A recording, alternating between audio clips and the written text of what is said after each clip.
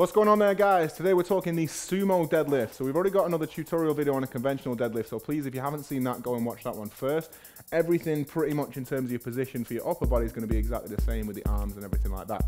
So what's the first thing that comes to mind when you hear the word sumo? Is sumo wrestlers and they do all this wide stance stuff, okay? So that's why it's called that. It's a sumo stance. We're gonna come really, really wide, right up to the bar, and toes are turned out about 45 degrees. Now keep in mind for this movement, your knees should only go where your toes point. So they go out when you come down and they come back in. They never cross to the middle, they never come out too far, just straight where the toes go. We're gonna sit down really low, just like we're sitting into a chair. Hands come inside your knees at shoulder width, and we're gonna turn the insides of your elbows forward, keep your shoulder blades nice and tight, and then from there, stand all the way up, lock out, squeeze your shoulder blades, tense your legs, tense your bum, and back down to the ground. I'm gonna show you three or four reps here just for demonstration. Make sure your head is always up. If you look at the floor, your back is gonna round over with your eyes. Okay, ready? Up we go.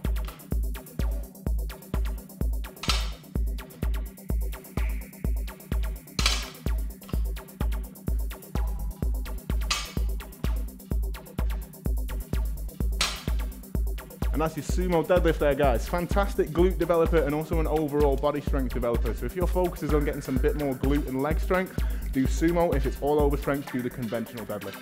See you in the next one guys. Thank you very much.